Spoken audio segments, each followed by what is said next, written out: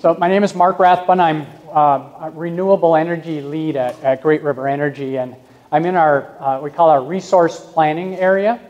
And, and that area um, looks at what our co-op members' electric needs are over, say, a 15 to 20, 25 year period. We have very long planning horizons in the electric utility industry. And we take a look at the, the type of uh, electric generation we have and the uh, transmission lines that we have to serve our co-op members. And I'll describe some things about our co-op members here in a little bit. Um, and then we take a look at you know, what kind of existing power plants do we have, what kind of new uh, power plants uh, are we going to put online in the future uh, to meet the, the growing needs of our co-op members and to meet uh, re renewable energy standards and climate expectations and sustainability goals. And so um, we plan all of those types of things in there. And, and I'll, um, I'm going to talk about a couple of things. Uh, our headquarters building, which is kind of an example of renewable energy use on a local scale, uh, in a, on a building scale. And then I'm going to talk a little bit more about Great River Energy's um, larger generation resources, mostly renewables, uh, towards, towards the end. And so um, one of the important things to remember is uh, energy efficiency is, is really the kind of the first place to start because uh, the less energy we have to generate means the, the less we have to invest in um, infrastructure to, to serve those needs.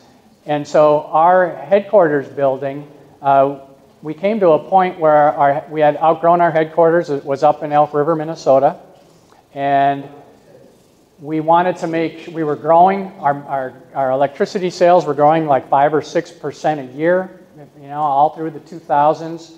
And we were uh, building a lot of new power plants, adding a lot of uh, new employees, and thought, you know, it would be better to be a little bit closer to the Twin Cities metro area so that, you know, we're a little closer and access, better access for the, you know, the job market so that we had access to good employees as we were growing. And uh, we wanted to be in a little more um, favorable location, so we didn't come all the way into the metro area, um, but we uh, came down to, to, Maple Grove and uh, chose a site there and chose to um, build a LEED certified uh, facility, which is Leadership in Energy and Environmental Design. And uh, we actually achieved a, a platinum status, and I'll, and I'll get into all of that. But a little bit more about Great River Energy in general. So we're called a, a, generation and transmission cooperative. And cooperatives are democratic organizations, they're member owned. And Great River Energy is actually owned by its 28 member co ops that you see there, uh, kind of in the gray shaded area on the slide. And I apologize for the, the flicker there, but um, it's something to do with, I think, the connection between the computer and the, and the projector. Um, but those 28 co-op members own Great River Energy, and they put us in charge of generating electricity and transporting it on transmission lines to their, their local service territories. And then they take it over at the substations, and then they deliver electricity to their end-use consumers uh, on their distribution facilities. And so collectively, uh, we serve uh, over 1.6 million people across the state of Minnesota. And you know, a lot of it is rural. We have a very diverse service territory, um, all the way from the Canadian border down to the Iowa border, a little bit into Wisconsin and over to the Dakotas. You know, the northern part of our service territory is a lot timber products and um, uh, vacation homes, seasonal homes. And then the southern part of our service territory is uh, agriculturally dominated. And then we have cooperatives that surround the Twin Cities metro area and, and have experienced, you know, they experience a little bit more growth uh, in housing starts and in, in small businesses. And so it's a very diverse um, service territory. You know, in the summertime, we could be uh, running air conditioners down here and people way up north might still need heat. And so, you know, we have to, you know, take that all into account and, and make sure that, you know, we have the resources to, to serve our members and, and programs for our members to take advantage of off-peak rates and, things like that. And we've been very, very active in those types of things. Uh, cooperatives are, are not for profit. Um, we actually return any excess uh, revenues back to our members at the end of the year. So, uh, you know, we need enough we need enough revenue to um, build equity in the company so that we can we can uh, finance projects um, at good rates. But we're not we're not there to generate a return for investors. Uh, we're there to to really serve our members and provide uh, least cost electricity.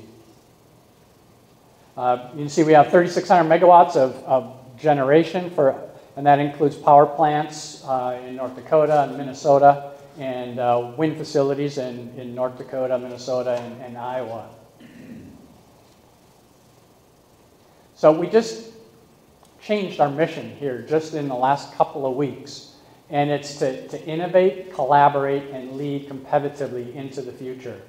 And so we want to make sure that you know, we're not uh, sticking with the status quo. We're, we're trying to test out new technologies, uh, get familiar with new technologies, so that when the timing is right and our, and our members need new power resources, we're going to be ready to supply those, those resources with the most cost effective, uh, most reliable, and environmentally sensitive type, types of generation. And so I mentioned that here. The mission is provide our members with reliable energy at affordable rates and in harmony with a sustainable environment. And we call that our, our triple bottom line. So everything. Just, no, just a question on the yes. previous slide. I'm just curious, did your uh, vision and mission include the sensitivity to the environment previously? Oh, yes, I'm sorry. The, the, the mission has remained the same. It's just the, the vision that's changed. So the, the mission has probably been there for a good six, eight years, probably. Yep, good question. So those affordable rates, and, our, and because electric co-ops are member-owned, we're not rate regulated by the Minnesota uh, Public Utilities Commission. So our members set our rates, and, and there's no one that scrutinizes your rate design more than your members. You know, they, they know your businesses as well as anyone. And so, um, you know, we, we have very competitive rates and they hold us to a very high standard there. But we also have to um, remember that everyone expects reliability. Uh, you know, several nines of reliability. And so we have to invest in power plants and invest in our transmission system to make sure that we're going to have a, a reliable delivery of electricity. And then we have to make sure that everything we do with new power plants and transmission lines, that, that we're doing it in, in harmony with the environment. So every time we do it, take on a new initiative or a new project, we've kind of got to balance. It's like a three-legged stool. You've got to balance all three of these concepts to make sure that you're, you're doing the right thing for your members and that you're, you're addressing all of these expectations.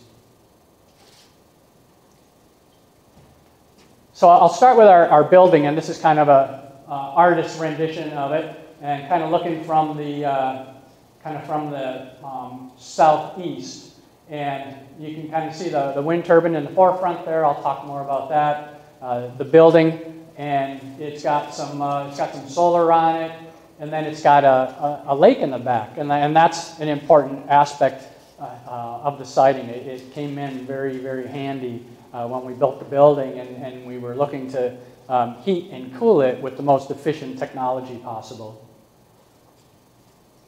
So the building was the first uh, LEED Platinum building in Minnesota, and, and LEED can be um, you know, just certified, and then bronze, silver, gold, and, and platinum and we actually achieved the, the platinum level. And it, that really required us to go to the level of having on-site renewable generation in order to get enough points to, to achieve that, um, that certification. Um, and we got we needed 52 points, and we ended up with 56 points.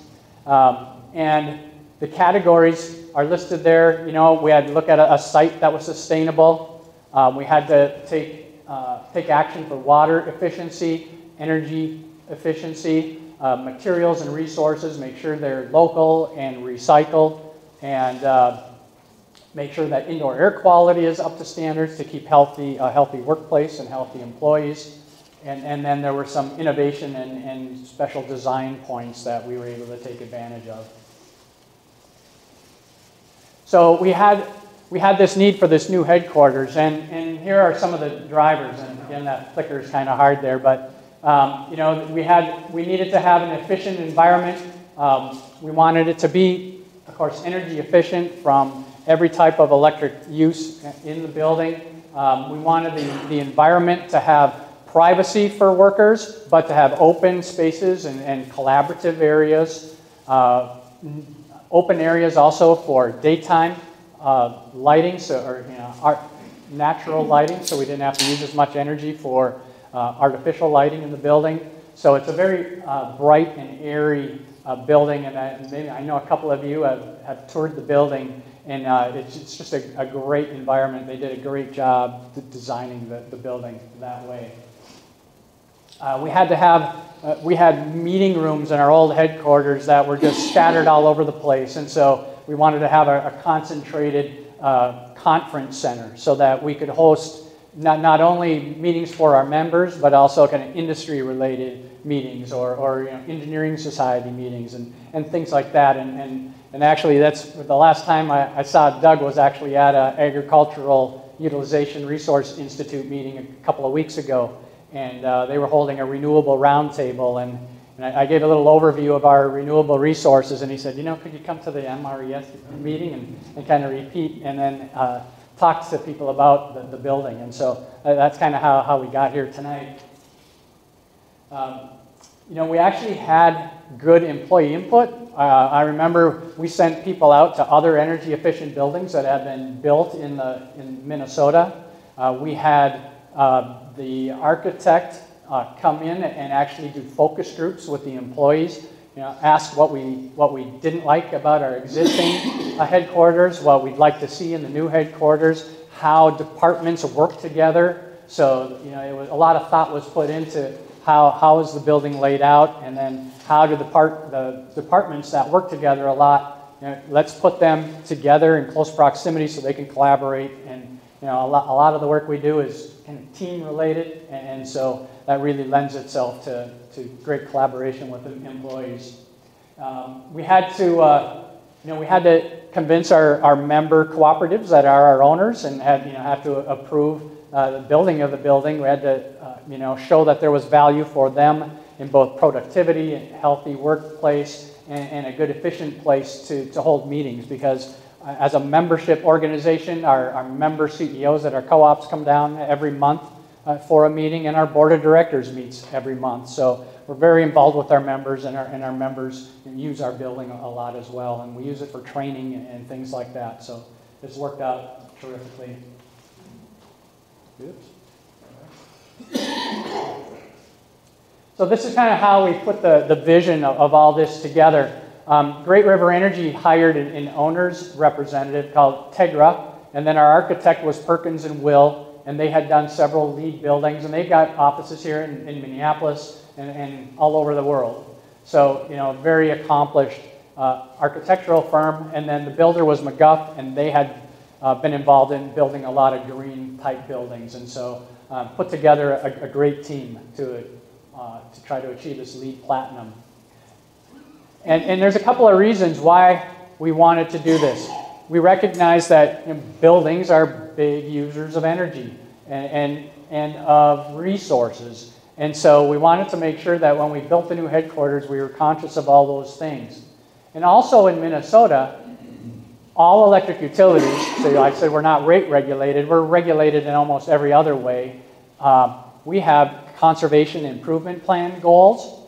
And so I think, did I um, they're called CIP goals. And those conservation goals say that Great River Energy and its member co-ops need to save 1.5% of their energy sales every year in energy through energy efficiency measures and conservation measures. So we thought that building this building to, to LEED platinum, all of the energy efficiency measures that we, we built into it, if we used it as a showpiece and an education piece to people, then you know, they're not going to go home and, and build this same level of home, or they may not put all of the measures that we incorporated in our building into their new office building. But if everyone took one of those home and, and incorporate it in their home or their office, we're going to start making a difference in, through just education because the, the biggest challenge with energy efficiency and conservation is just awareness and, and getting people to understand how energy is used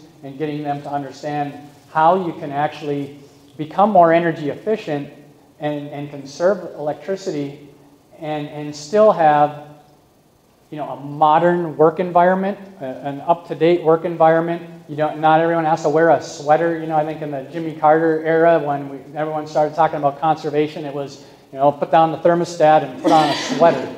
And we wanted to show that you could take, you could take a different approach if you designed the building right and you instituted the right kind of energy efficiency measures and efficient uh, space conditioning equipment that you could build a building that you didn't have to sacrifice comfort in. It could be modern, up-to-date building and still energy efficient and still very functional. So, and of course, you've got the, those environmental benefits, um, and then the, uh, the health benefits in, in the building are, are very important. The, uh, the indoor air quality through measures like uh, ventilation, monitoring CO2, putting in products that don't off-gas VOCs, the volatile organic compounds that you'd have in, in paints or in glues and binders and those types of things. You know, they paid attention to all of that. Um, so they, they took a, a, very holistic approach. So it wasn't just energy efficiency, you know, it was um, sustainable building materials and, and uh, things that were going to contribute to a, to a very good indoor air quality and a, and a, and a bright, cheery atmosphere. And, and actually, a, a side benefit, a little bit hard to calculate with an exact number, but is productivity. Productivity goes up if you have a, a, healthy work environment. You don't have people taking PTO. Yeah, you don't have people sitting around at, at, their desks, you know, still trying to work through through sicknesses. You know, and I, I think it's just a very, very um, healthy uh, working environment. So we had to work through some things. Um, the wind turbine, uh, we were trying to achieve, I think, 15% of our annual electricity use generated by on-site resources. And so we had um, modeled that the wind turbine was going to provide about 10% and that the um, solar was going to provide about 5%. Um, when we went to the city, the original plan was to have uh, one wind turbine where we've actually got it located, and then two more on the right on the boulevard, right along Elm Creek Boulevard. And uh, the city planners didn't, didn't really like that plan. They didn't, you know, wind, wind turbines in an urban environment, it wasn't a very common thing. They were a little bit worried about you know, safety, ice throw, bird kills, uh, flicker, noise, all these kinds of things. And so um, we had to kind of scale back uh, the wind that we were going to put on the site. And we ended up with just the, the one wind turbine where, where it's sited, and then we, you know, we filled in with the, with the solar. Uh, one important thing to, to think about with that, um, with that wind turbine is we, we had to go to the city and actually get an, uh, an interim use permit. And we had to prove to them and an adjacent building owner that uh, flicker from the wind turbine and noise and power quality wasn't going to be an issue uh, for the neighbors in the area. So we had to do a lot of due diligence, you know, talk to that building owner, talk to the city, and, and let them know that we were going to be a, a, good neighbor with, with the wind turbine. How do you, how do you um, modulate flicker? You, you can't really do anything about flicker. You know, it, it happens when the sun's at a low angle in the morning or the evening. Um, you know, we, we could actually model it and show how much time in an average year it would exist and, and it's actually a pretty short-lived phenomenon. And then actually, I think, you know, we get flicker uh, when the sun rises in the east and early in the morning. This time of year, we get some flicker in the building, and um, you know, don't really see it as a problem. It's something that you definitely notice, but uh, it hasn't caused any issues, and we haven't had any complaints from the from the neighbor next door. So it's been it's been pretty good. But we had a five-year Oh, the neighbor was a, a, medical facility next door, and so you know they I think they were kind of in tune to, to those types of things, and so they had the questions. Um, I was wondering if rotor speed would would Yeah, the, the rotor speed on this one is probably a little faster than modern uh, utility scale turbines. Uh, this is going to rotate probably between 15 and 30 revolutions per minute, whereas the big utility scale ones are probably more in the 20 revolutions per minute, maybe, maybe even less now. Yeah. Um, another thing that was to our benefit is if you built a building that wasn't energy efficient, now the renewables, if, if you're trying to achieve a certain percentage of electricity production, you need, you know, if you don't have a very efficient building, you got to build bigger renewables. And so we built a very, very energy efficient building, so we were able to scale down our, our renewable investment. And so, you know, that's a good approach to, to think about. Um, we didn't have to put up a, a one or two megawatt wind turbine. We, the wind turbine's only a, a 200 kW wind turbine, and it was still able to, projected to produce uh, 10% of the building's annual energy use. So that, you know, that, that's pretty good. Percent? Mhm. So because our predominant wind, we were talking about this earlier, our predominant wind is from the northwest. And, and so the wind actually, most of the wind comes over our building. And you see here. So um, Doug gave me this pointer. I might as well try to use it. So this, this is the north northwest, and then the wind turbine is, is right over here. And so I think the issue is that the wind comes. Sorry about that. Uh, the wind comes over the building, gets a little disturbed, and so we don't have a, a, a real uh, perfect wind flow into the rotor of the wind turbine, and, and I think that's where we lose a lot of the production. Um, but it, it still provides about 5% of the building's energy use. Mark, you also have an issue with the city? You didn't, you weren't able to build your turbine quite as high as you wanted, or? Did that happen? Well, yeah, we were, because the wind resource is better, the higher you get, the higher the hub height. Uh, you know, we were thinking about putting it, uh, building a pedestal first and then mounting the wind turbine on top of the pedestal to get it a little bit higher. And, and then when, when we started looking at that, um, yeah, the city had some issues with how high, you know, they wanted the turbine to be. And then, you know, we looked at it aesthetically and said, this doesn't look like a normal wind turbine installation. You know, most, most towers are right on the ground and they're not on any other kind of uh, accessory type, type pedestal. So we just decided to keep it the, the way it was. There was also one request for us to put it uh, out into the middle of the pond. And so we would have had to built a, a causeway and an island and, and tried to put it out there. And then on top of that, you know, you, to get down to the pond, you're going downhill a little bit, and so you're losing a little bit of elevation, and so you're losing out on, on uh, wind resource that way. And so we told them, we're losing out on wind resource.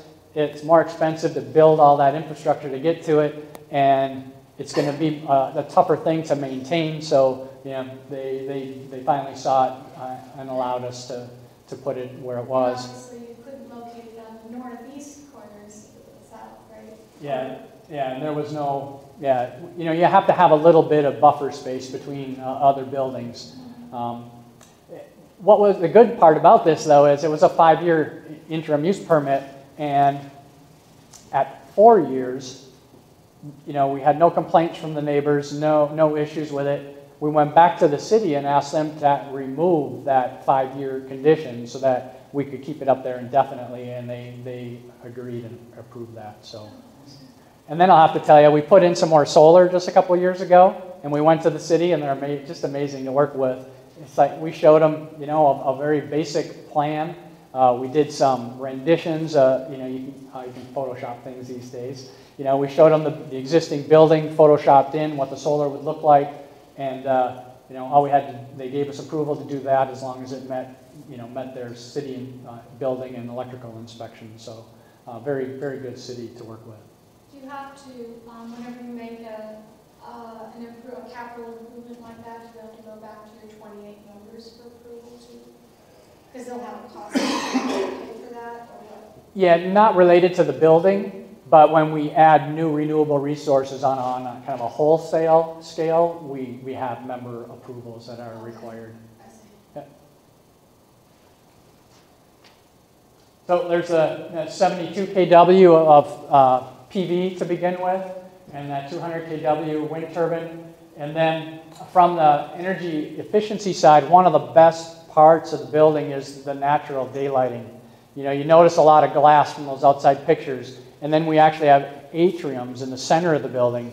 So every footprint inside the building has south-facing glass, so you get natural daylight that way. Then you have atrium light coming in the backside of that workspace. Then on the backside of the building, you have atrium light coming in that workspace, and you have north-facing glass that still gives you great daylighting through. So we end up um, using very, very little electricity to run our, you know, to run fluorescent lights.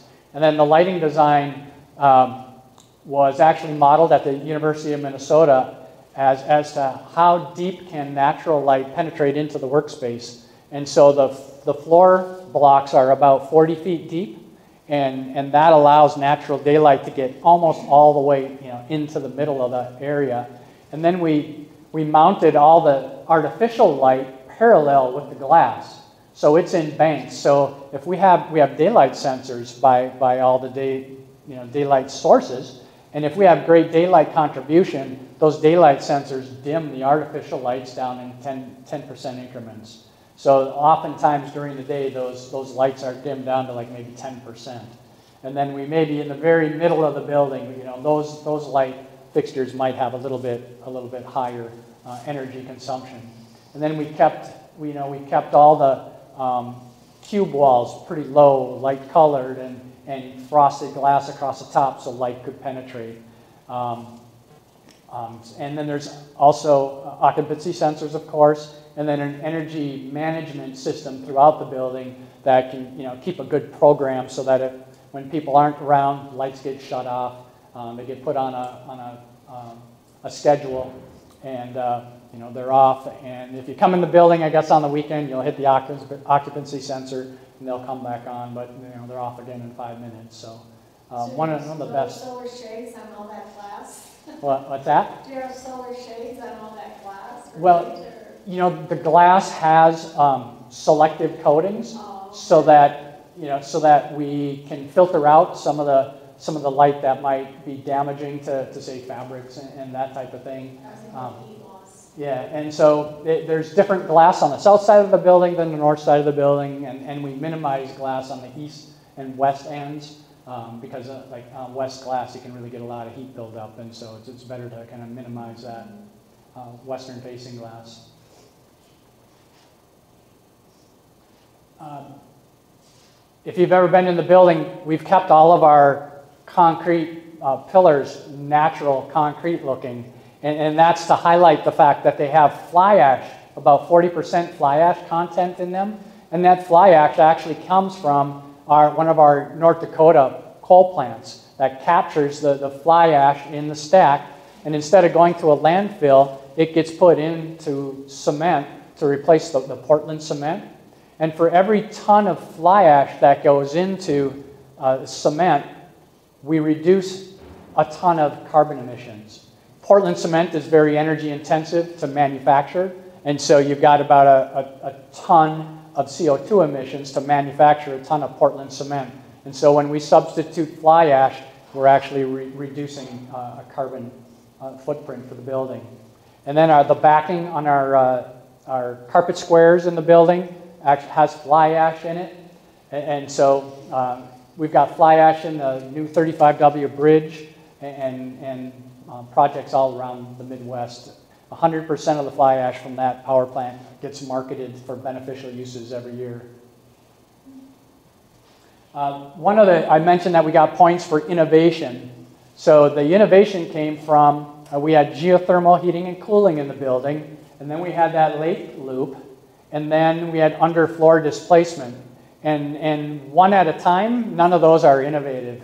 But when you put all three of those together into a system like we did in our building, that got us innovation points. And, and so it was the first time a, a building in the, in the US had put all three of those types of systems together. So if you're familiar with geothermal heating, you're, you're using the refrigerant cycle like your, like your air conditioner, only you, you have a reversing valve in, in, a, in, a, in a heat pump. And so it can both heat and cool with the same equipment. And so we have a heat exchanger that consists of 36 miles of, of tubing that you see in that top picture coiled up and sunk down to the bottom of the lake where it remains about a constant 48 degrees year round. And then we circulate propylene glycol water mixture in a closed loop system out into the, out into the lake so that when we're air conditioning the building, we're rejecting heat out into the lake. And when we're heating, uh, you know, I'm coming up here in a couple of months, I think, um, we'll be able to extract heat from that 48 degree water through the refrigerant system and turn it into con- warm conditioned air in the building. And then we, go ahead. How much does that change the lake temperature, the natural lake temperature? The engineers calculated that it would only change the temperature like a quarter of a degree on a swing on an annual basis. So, yeah, not much at all. It's a pretty decent sized lake. It's over it's over 40 feet deep and out in this corner where the you know where most of the uh, coils are, are sunk down to the bottom. Was it cost reasons that use the lake instead of just going underground? The uh, yeah the cost reasons for going into the lake it, it's actually less expensive to put it out into the lake, and a lot of times those heat exchangers are put in the ground, say eight eight feet deep. Water actually transfers heat better than than soil, and so you get better heat transfer in the lake. An interesting thing with with um, getting a permit from the city to use the, the lake as our heat exchanger um, probably 10 years before we built our building, the city of Maple Grove built a new city center, new government center, and they're in our, one of our co-op service territories, Wright Hennepin. And we, in our member co-ops, were distributing Econar heat pumps to our whole co-op membership in the state of Minnesota. And so, you know, we, we wanted residences to use those heat pumps, and we wanted you know, commercial entities to use them. The, uh, the people that maintained the building were responsible for, you know, the engineers for the Maple Grove Government Center. They really were enamored with heat pump technology and said, we want to put that into our building. So we met with them, and you know, they, they got a special electric rate. And you can't see it here, but they're probably only a quarter mile from our, where our building is. And they've got a lake behind their building. They were the first ones in Maple Grove to do a, a lake loop. And so their system performed so well and, and had very little impact, if any, to the lake. Um, when we came to them and asked if we could do the same thing, it was all, you know, no problem. You know, it, yeah, it was it really really worked well. And so then the uh, the other efficient thing about it is instead of using a lot of energy to run fans to blow conditioned space throughout the building, um, we built a, a, suspended floor. So it's kind of like a data centers have a, a like a raised floor about 18 inches, and it creates a, a cavity, a big airspace, uh, and we call it a plenum in the building. And so those heat pumps throughout the building, you know, there's, there's probably uh, over 100 heat pumps spaced throughout the building, and they're all down in that underfloor space. And instead of having ductwork connected from every heat pump to every register in the floor, we actually just pressurize that underfloor plenum area and, and use a, a very low velocity air delivery through the, through the floor registers and, and it comes right to where everyone's sitting and working. So it gets delivered to where, where the people are. It hits people and plug loads of computers, and as that air then warms up, it stratifies and goes up to the ceiling, and all the return air ductworks are in the ceiling.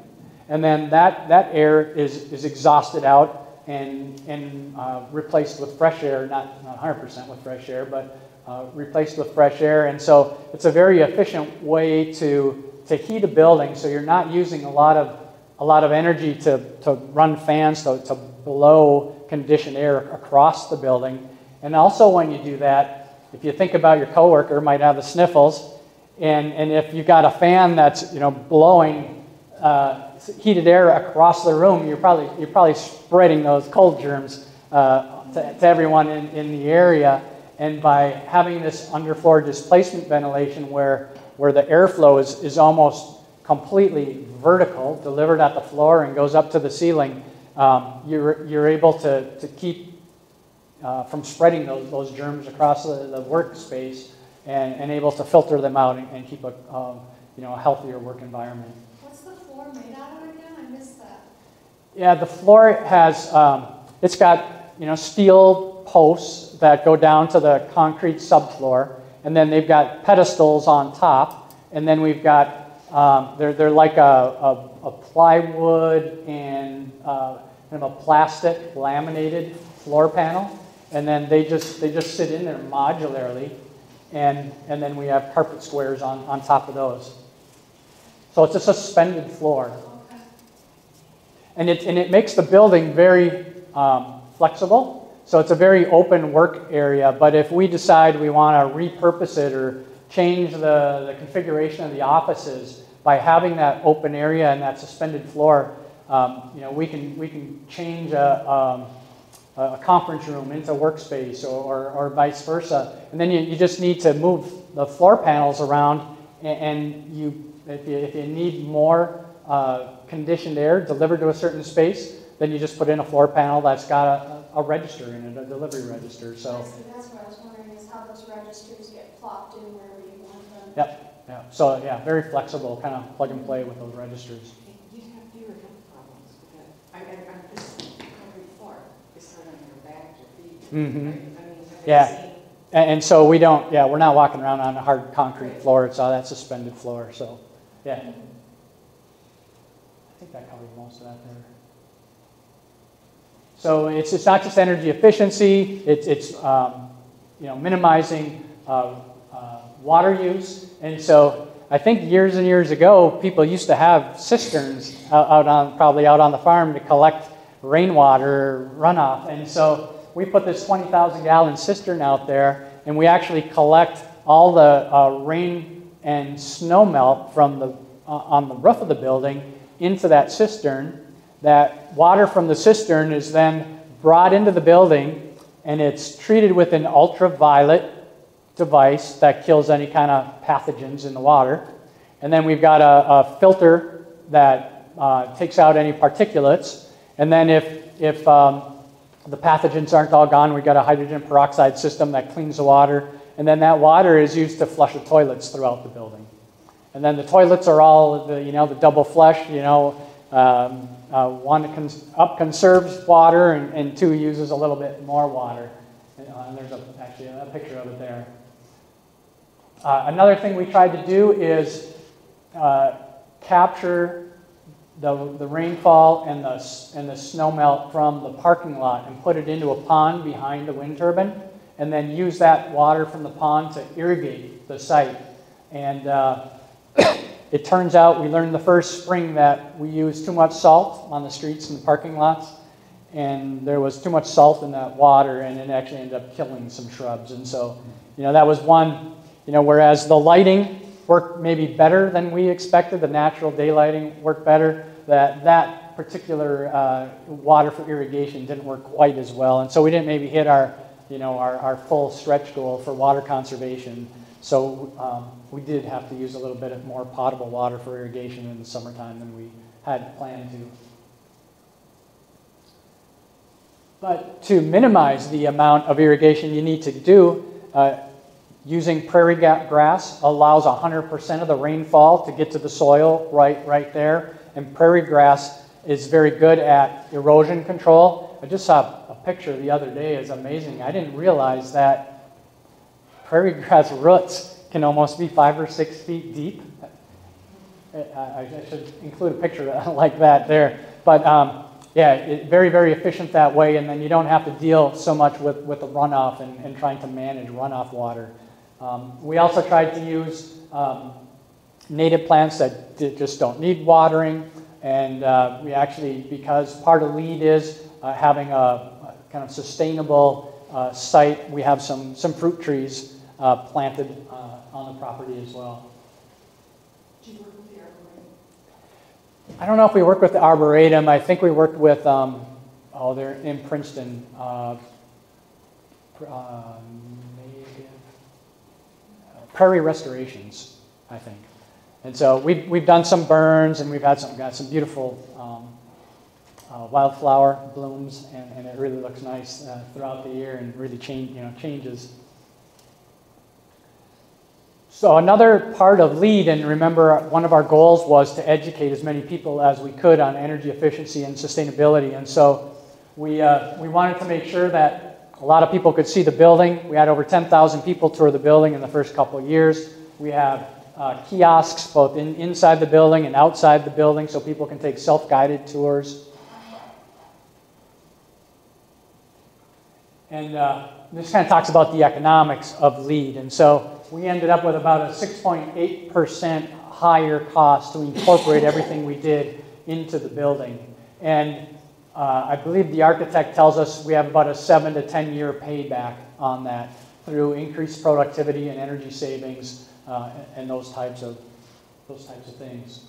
So uh, definitely a, a, a smart investment, especially for a you know, a building that's going to be around for a while. Um, and, you know, we, we definitely do it again, and we did do it again. We didn't quite go to uh, platinum with our, our new building in Bismarck a few years ago, but it, it did achieve uh, a silver rating. So I wish we didn't have the flicker on there for you, but um, that's kind of artist rendition on the outside of the building. It's, um, yeah, it's very welcoming. We have um, great transportation access. We have the city of Maple Grove has great trail system, so there a lot of people go out and a lot of people ride their bike to work. Um, there, you know, there's a shower facility. People can park their bike in a small underground garage and keep it safe. And so, just a, a lot of nice, a lot of nice features with the building. How many people are employed? In the building, we have about um, 250, and, and it's not to full capacity. We've actually had a couple of rounds of uh, early retirements and, and haven't replaced everyone. And since our members aren't growing quite as fast as they were in the early 2000s, um, yeah, we, we can stand to grow in the building a little bit. We've got room for more employees. So now I'll switch gears in the last few minutes here and, and talk about our, our generation resources. And uh, this graphic shows um, all of them. And so in North Dakota, uh, we've got uh, actually um, three coal plants. And we just announced the retirement of this one, Stanton Station. So it's going to be going offline in, uh, I think, March of next year. Um, an interesting thing about Spiritwood Station, you've heard of combined heat and power facilities. It's actually, it was an Obama administration initiative to have combined heat and power power plants that provide uh, not only electricity, but use the waste heat for industrial processes. And so we have a Cargill malt facility that takes uh, waste heat, and we also have a, uh, an ethanol plant that uses waste heat from that power plant. And so um, it produces uh, electricity and heat for those processes. And, and then those, uh, those businesses avoid having to um, burn natural gas or, or some other type of fuel um, to heat their processed water. Um, then we have, uh, whoops, Ashtabula wind uh, up in uh, kind of northeastern North Dakota. And, uh, you know, I think we'll see more wind uh, built for Great River Energy in that North Dakota area, possibly South Dakota as well. Uh, then in... Well, where is that gas um, turbocharged plant that you were talking about? Oh?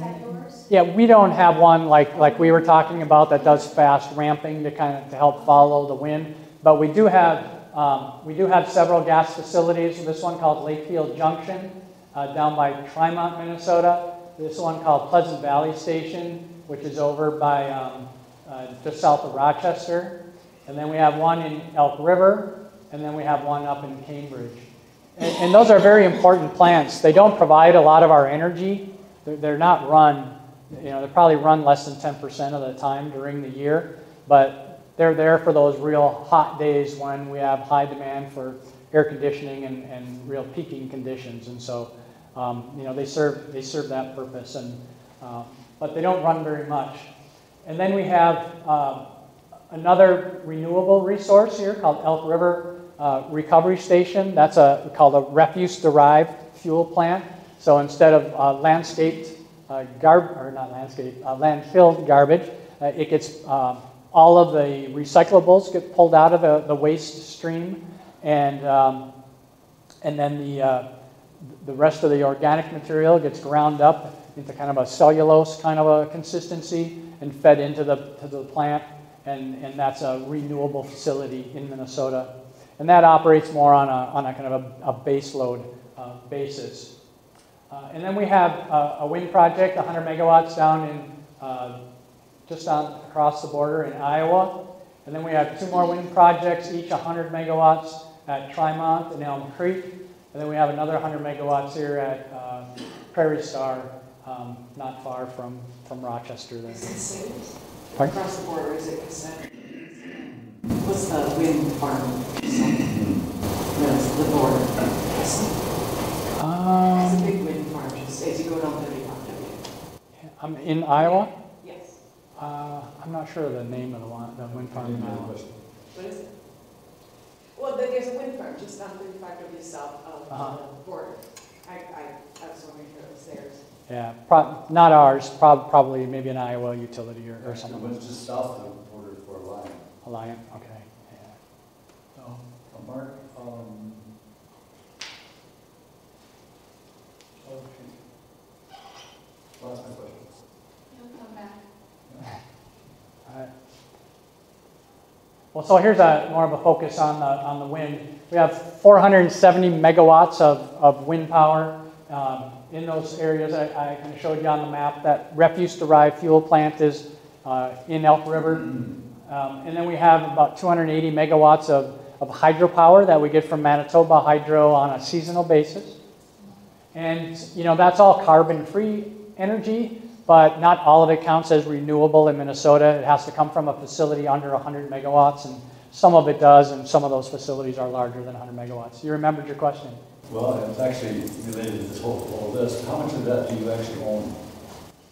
Um, we only we own the uh, RDF plant, the one wind turbine at the building, and uh, and then the solar. So all of the wind is under a power purchase agreement, and and that goes back to uh, utilization of the production tax credit. And since Great River Energy is a not-for-profit co-op, we don't have a we have we pay taxes, but we don't pay enough taxes to have enough of a tax appetite to, to actually own the wind and, and fully monetize the, the tax uh, credit. And so we we do 15 to 30 year power purchase agreements with wind developers that uh, own and operate those facilities, sell us 100% of the output, and uh, we get lower contract prices because they're fully monetizing the, the production tax credit. Uh, we added the solar uh, here in, uh, in, a, in, a, few different areas in the last couple of years. Uh, we put 20 kW systems out throughout our member service territory just so people in the local community can kind of see that solar is a viable uh, energy resource for the future. Um, Great River Energy owns those. A lot of our members have offered community solar to their cooperative members, and, and they haven't been very big scale, but, but they actually were able to kind of build on to some of those smaller projects that we built, and they got better economics, and so their members got better economics for their uh, community solar. And then we put um, 250 kW of solar out in front of our building, added in front of our building. I think I have a picture of that. Yeah, there we go. And so we wanted to, our generation uh, engineers manage this project so that they could get familiar with solar energy. We're not going to add it in a large scale right now just because of the cost of it and because we have enough resources to cover our co-op members' needs for, for several years. But we wanted to make sure that you know, we, we knew about the technology, could learn about the technology. We ended up putting in three different types of of modules. We have sharp modules out in front, tenKsolar on these three uh, um, mounds out in front of the building. And then we have uh, Suniva panels here uh, on the carports. And then we have uh, tenKsolar has built-in inverters, and, and so you know you don't see those separated from the system. But over here we have a, a couple of inverters, and, and one is for the Suniva Bank, and uh, one is for the, the Sharp here. Um, these little architectural trees of solar and this solar on the roof, that's the original 72 kW that was put on the building when we, when we built the building.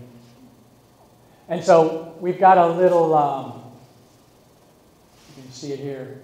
I think it's here. We've got a weather station that's, that's monitoring the uh, global horizontal solar radiation. And then we've got a, a plane of array uh, monitor, and we've got wind speed and direction and temperature and back of module temperatures. And so, and then electrical, since we've got a lot of engineers around, we've got a lot of um, electrical metering. So we're, we're looking at output, harmonics, and everything in between. And so um, really using this as a demonstration project to, to learn more about solar resources. And one reason why we have to do that is most of these other resources are large central scale, you know, even the wind. But solar can be deployed in, in the same way, 100 megawatt increments, but also in, you know, 3 kW increments on your house. And so um, a lot of people see solar production, and you know, you kind of see it here. This, this shape is kind of daily, and you can kind of see where maybe you know the clouds are passing. Here it's you know a perfect solar day. But depending on your time scale, you know that, that's where you really have to look a little bit closer. So that's on a, a say an hourly basis how it's looking. But when you get down to a minute, here's what you know up and down, up and down, up and down. And if you go to a um, five second basis, it's even, it's even more up and down. And so those are the things that engineers get worried about. You know, it's great to have a, a lot of different projects and, and, try to even out those, those variations. Um, but there are some re very real local impacts to the, to the electrical grid that, that have to be addressed the more and more solar that we add to the system. And so and we're nowhere near that level here in Minnesota yet, but, but it's something that we have to watch for in the future because Minnesota is a very much a hotbed for solar, and you know we're going to see a lot more solar installed here in the next couple of years. Yes. Your solar panels at, at ground level, did you try to, to remove the snow in the winter at all? No. Um, we just let nature take its course. Um, a lot of times it clears pretty fast, but if you get freezing drizzle first, and then you know that freezing onto the panel, and then snow on top of that, and then not a couple, you know, no, no real strong sun the next couple days. It can take days or a week to, to get off of there.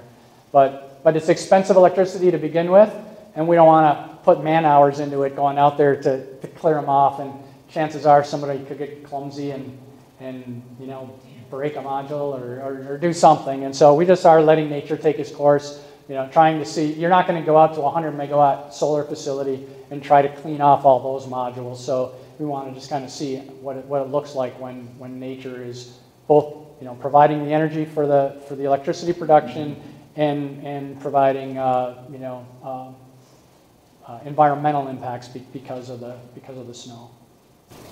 You don't need to use storage because you up more of the grid. Right. We did have um, we did have storage installed uh, on a on a couple of those uh, arrays in there, but it had some technical difficulties and, and, got put out. But you know we're watching storage technologies. Uh, we're part of the Electric Power Research Institute. Um, we've got people involved in, in stakeholder groups here in Minnesota that are looking at uh, storage technologies, and so you know it, it's expensive. So we're, we're we're willing to do some pilots on it, but, but we don't really want to uh, spend a lot of money on it quite yet. Yes? Mark, uh, I've been a co-op member in two different co-ops in Minnesota, and uh, there hasn't really been a whole lot of discussion about the adoption of solar in the co-op system mm -hmm. as far as base load generation. Been really pretty quiet on that subject. We're having all these meetings all the time with all the co-op members. What's, what's going on right now? You know, are there, are plans, even if they're long-term, are there plans to eventually have Great River adopt utility scale solar? Yeah, you know, we're, uh, The problem is, is trying to put in new resources when you have enough conventional resources and enough investment in renewables already to meet our needs and stay ahead of the renewable energy standard. And so, you know, solar is still the, the most expensive resource out there. And so if we add it, we're going to increase our members' rates. And they're, they're very sensitive to that. The best way to get around that is to offer community solar programs. And most of our members do that. So people that want to um, contribute to, uh, want higher levels of solar energy to serve their home or their business, those people can invest in the community solar project. They support that community solar project financially, and the people that choose not to um, have more solar in their, in their resources, um, they're not affected financially. It'll be a few years before we add very, very large, like, like Xcel is adding. Um, just, yeah, it's just not in the money. You know, we're agnostic to technology. We're going to we're to provide the, the best renewable resource for our members as we can. And right now, with Minnesota's wind resource, you know, it's, it's going to be wind, wind for now. Well, do you foresee wind then in the intermediate step that you would take before you would consider solar?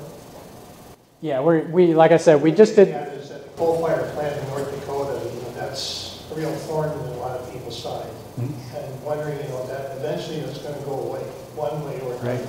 right. It's gonna be converted or whatever, but it's not gonna remain the coal-fired plant. So obviously, something's gonna have to take its place. Yeah. And right now, that's, that provides a great deal, obviously, we know, a great deal of power to the system. Mhm.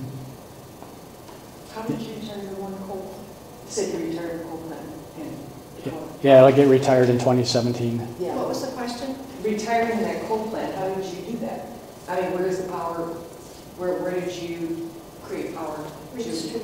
We didn't have to because during the 2000s, we built some new power plants, like those peaking plants that don't run very often. Um, we've got enough power plants to supply our members' needs so that we had, we had the flexibility to retire that plant and not hurt our members. And actually, um, um, because they don't, you know, they still have to cover the ownership costs of it, but you don't have to cover the fuel costs and the maintenance costs and those types of things. So there is some savings by, by retiring it. But the peaking plants are coal. No, the peaking plants are natural gas. Yep, yep. Mark, the three quick questions. Um, Are the green roofs still part of that building? Uh, Question number two, Green roofs? yeah, you, you have green roofs, I know when I toured that a long time, is that still there, or? Yeah, we actually don't have green roofs. We have living roofs. We have a couple sections of living roofs where, where we just have some native landscape type things growing. Um, we could have done a green roof for more points, but we had enough points already, so. Okay. The other, next question is the, um, uh, the storage side of things. Wright Hennepin's got that. Are any other co-ops doing anything with storage? I mean, beyond the water heater side, Yeah. beside that? We got a couple of co-ops that have um, silent power storage systems in, in some co-op members' homes, and they're, they're piloting those, testing them out, and, and seeing how they perform. But, uh, but yeah, not, not much more than that. Uh, we're looking at options. We were talking earlier about pump, pumped hydro, uh, compressed air storage. You know, there, there's a lot of different things out there, but really nothing commercially available besides pump hydro, and then you need, uh, you need the right site to do it. Third question is uh, that new one megawatt, or maybe two new one megawatt systems that Dakota Electric's Mhm. doing. Are, is that, uh, are you guys involved in that, or is that strictly them doing it? No, we, we are. And so that, that's one area where our members are adding solar beyond community solar. We've got a couple of members, uh, Wright Hennepin had us add two and a quarter megawatts of solar uh, out in the Dickinson area. And we've got uh, Dakota Electric has decided to do some, instead of community solar, do wholesale solar. So they're going to do two megawatts. Uh, we've got another member that's looking at doing another megawatt next year. Uh, and so it'll, they've got an option to do some renewable self-supply through their power contract with us. And so some of them are, you know, exploring that and, and deciding that um, on a co-op by co-op basis, they can add it in some small increments and, and not impact rates much, um, and still get, get a lot of good benefits from that locally sited solar. Is the Dakota Electric uh, project, project going to be in their service territory? Yes. Yep, it took, it took a while to permit. I wouldn't want to be a solar developer trying to, to permit projects these days. They, it took a lot of public meetings, and uh, they finally got one site permitted for, for one megawatt, and, and working on a second megawatt, but it, it's not happening overnight. Yeah, it got delayed, you know, project construction basically got delayed a year because of the, because of the permitting process. Yes? Trump, Trump has indicated that he wants to prop up the coal industry. Is that going to affect the retirement schedule of coal plants? I doubt it. You know, we're transitioning our power supply to more renewables, retiring that, that plant. I think I have that here. Um, you know, we're doing more with energy efficiency. Um, wind is, is actually at a, at a very competitive price um, compared to over the years. And, and so I, I think we're, uh, I don't see us, we're not going to be building any more new coal plants, even if, you know, he creates some kind of policy that, that's gonna allow. We don't need to build any new plants, you know, we're just gonna, we're gonna replace, uh, some of the existing ones we have.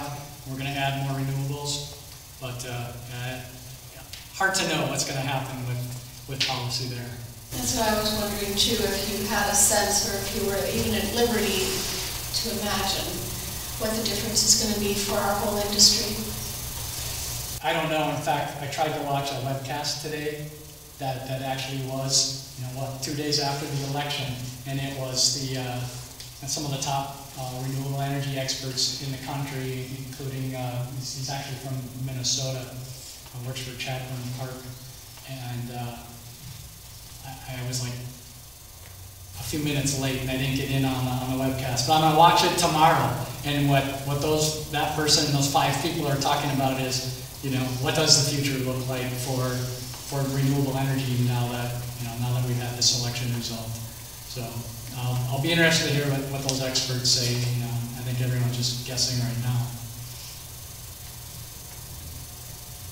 And you guys are doing some positive things with electric vehicles too, right?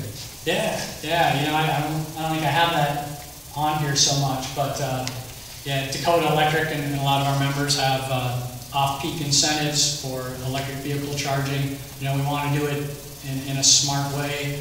Um, and we've actually kind of, kind of provided a carrot by, uh, we're actually retiring renewable energy credits for the, the expected lifetime electric use of that vehicle. And so they can claim that their, their electric vehicle is uh, renewable energy uh, charged for the, the first, 10, first 10 years of its life.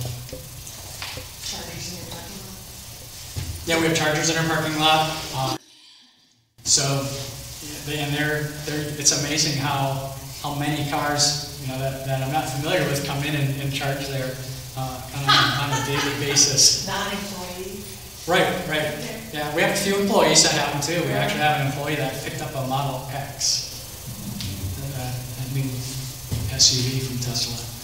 Uh, Yes? Um, I seem to recall seeing a map of the United States and all of, um, power, there's like regulation stations or something, or how is it, all of, uh, you and your, your other the other companies, Xcel and everybody else, does everybody talk to each other? I know there's, I can see this big data controls, you know, center like flight, flight patterns, you know. um, It's there. Directing and all that, I can see it in my mind, this big room, but I just wondered if people get together, are you in all communication with each other, all of your companies? Yeah, th- this is like another hour or two know, discussion, but just just the quickly. struc- the structure of generally, that you do Um, talk. There are uh, regional, uh, independent system operators of the electric grid. You know, it's been said that the electric grid is the most complicated machinery ever built by man. And so, um, a few years ago, the Federal Energy Regulatory Commission said, um, you have to start working on a regional basis. And so in our region, it's called MISO, the Midwest Independent System Organi- Organization. And they oversee the wholesale electric power market. And so we actually, we actually sell all of our generation into the market. We buy all of our energy for our members from the market, and we can pay for it because we're selling generation into the market.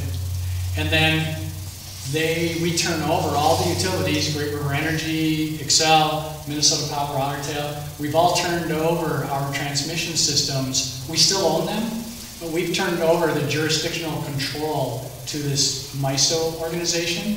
And they've got engineers and, and operators that, that have, you know, monitoring systems that monitor the power flow on the whole grid. And they keep all of the utilities working together so that, you know, so that you've got reliable electricity and the most economical electricity because every day they pick the cheapest power plant first. You know, if, if we need a this level of power, everyone bids in their, their power plants at a different price and they choose the cheapest, and the next expensive, next expensive, next expensive, and then, and then they hit, you know, they hit enough power plants to serve the load for tomorrow, and it's all the least, you know, most cost-effective power plants to serve your electric load. And so it's very efficient from, from just an engineering standpoint, and then it's also efficient economically. Wow. Yeah, yeah, they're, um, yeah. Where's they, where are they located? Where's MISO located? They actually have an office in Eagan here, but that's kind of a satellite office. And then they're in uh, Indianapolis, Indiana, is their main headquarters. They've got monitoring screens that would cover these walls. I've seen a photograph and it Just just looks like a huge air traffic control. So it's all based on cost, not environmental concerns. Well, each individual utility then has to, has to um, make sure they're staying compliant with, with environmental regulations in terms of emissions and in terms of renewable energy content. Um, And then the, uh, it was mentioned earlier, the, say the wind actually is going to provide, it's, it's pretty efficient in the market, and so it's going to provide a lot of the energy. And then a lot of the other conventional power plants are going to cycle up and down to supply the, the net load that's left after the wind produces. Well, Mark, thank you so much. I went over, didn't I? Really appreciate